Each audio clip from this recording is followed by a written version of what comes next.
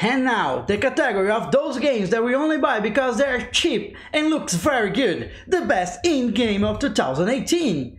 And the nominees are Celeste, Dead Cells, Northgard, and The Messenger. Uh, for the game of the year, indie. Celeste. Nice.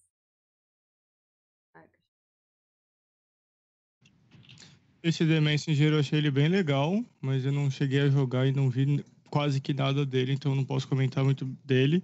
Só que entre as outras opções, apesar de achar o Celeste um jogo interessante, eu achei o Dead Cells o melhor deles. Só que eu achei o problema do Dead Cells é que, apesar de gostar de jogo difícil, ele é difícil, tipo, desnecessariamente, e ele não tem final, né? Isso é um pouco chato.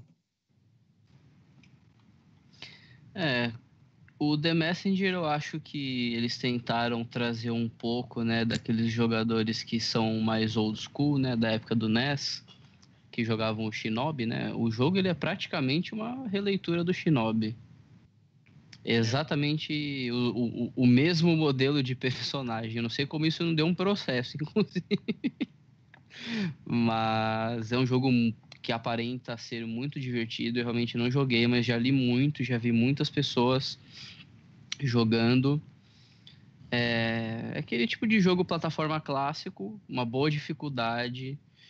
É, o que eu acho que a única coisa que peca nele é o preço, né? Porque eu acredito que ele não deva ter mais do que 6 horas de jogo, 7 horas de jogo. E ele custa 38 reais, né? É um valor caro para um jogo indie, né? Eu acho que esse é um dos grandes pecados dos jogos indies hoje em dia, né? Eles estão custando o valor de jogos, de uma certa forma, até AAA em promoção de um ou dois anos de existência, né? E que talvez não, não compense comprá-lo no momento, né? Justamente a estratégia para uns jogadores seja, né? Esperar aí um ou dois anos para talvez pegá-lo a uns 18 reais, né? Mais ou menos. É, foi o que eu tentei explicar pro Bono uma vez e que ele não entendeu, que ele falou que eu não gosto de jogo indie, não é isso. Eu gosto muito de jogo indie, só que o, o jogo indie tem o preço cheio de um jogo seminovo. Aí você vai comprar, sei lá, um Rise of Tomb Raider, que tem 16 horas de jogo, ou um Doom, que tem um gráfico muito da hora, um jogo divertidíssimo de jogar, ou você vai comprar um jogo que você nem conhece mais caro que ele. Tem como, né, velho? Sim, sim. É, é uma das coisas que joga contra esse nicho de jogo, né? Os indies, eu acredito que, assim, eles são feitos com muito carinho, né? Pelos gráficos e pela história, pelos personagens você percebe que a equipe fez eles de uma maneira muito carinhosa, né, com muito capricho, né? Mas infelizmente, né, eles estão, acho que numa faixa de preço ligeiramente, ligeiramente acima do que do ideal de preço que os jogadores estariam dispostos a pagar por eles, assim, sabe?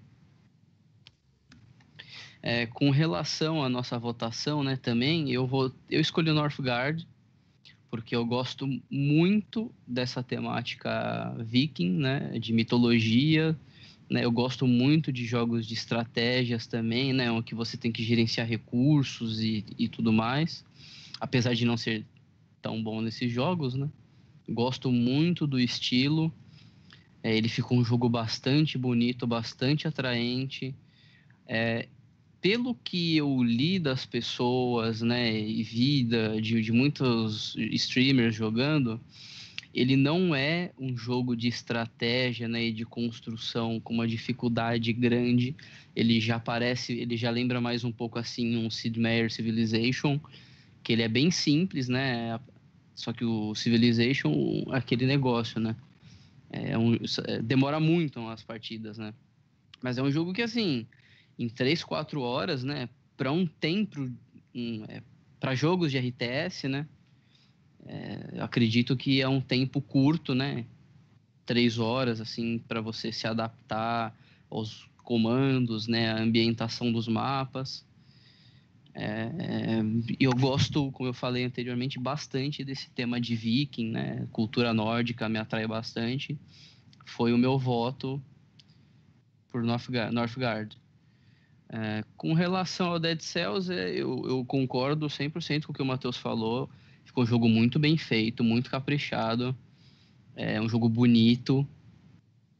É, o ponto negativo é que ele é extremamente difícil, né? É, tem uma, aquela dificuldade assim desnecessária mesmo, né? Chega a beirar a ignorância até. É, e eu acho que é, você não, não, não, não dá um desfecho na história, né? Você não ter essa sensação, né, de, de fechamento, de uma certa forma, pelo menos a minha, é meio frustrante. O The Messenger eu, eu achei bem bacana também, voltando a falar do, do Shinobi, né? E a, a, a, de gráfico, assim, né? O, do The Messenger foi o que mais me chamou a atenção. É, com relação ao Celeste, que foi o campeão, eu não conheço. Né? Vi na Steam apenas o, o vídeo introdutório, algumas fotos. Não me interessei nem um pouco é, apesar do gráfico ser bonitinho, mas assim, de, de todos os, os, os, os outros três né, que nós mencionamos, ele, para mim, foi o que teve o menor apelo nostálgico.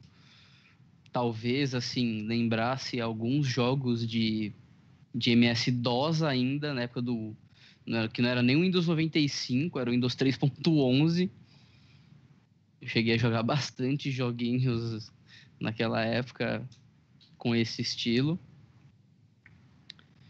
E sei lá, ficou acho que um jogo meio que solto, né? Com relação a todos os outros. É isso.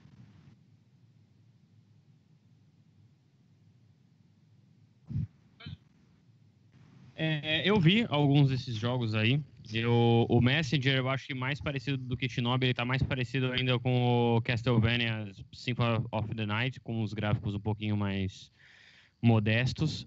Mas tá bem legal, tá bem, bem feito o joguinho, tá bem legal. É, se eu não me engano, ele que tava um pouquinho mais caro, tipo, ele tava no mesmo preço de Celeste. O Celeste teve um hype é, maior do que o dele, ele tá um, um pouquinho caro. Se eu não me engano, acho que alguém falou disso também. É, eu joguei Celeste, eu joguei, acho que foi o único jogo desses daí, dos cinco que eu joguei. Tá muito, muito louco. A história de Celeste, né? Toda a batalha contra a depressão e etc, etc, etc, etc. É bem legal, tá bem legal. E tá bem difícil. O jogo não tá. tá um jogo assim, bem. É, não é difícil, mas um jogo bem desafiador. Não é à toa que ganhou, é, pelo menos pela IGN, etc., como o melhor jogo indie de 2018. Uh, o Northgard eu vi também. É, para mim ele ficou bem parecido com Age of Empires e Age of Mythology, etc, etc. É, eu acho que vai acabar trazendo alguma coisa nova aí, principalmente dos deuses nórdicos, né? O Age of Mythology trazia os deuses gregos. Vamos ver, vamos torcer para para surpreender as expectativas aí. Alguém tá voltando. É isso.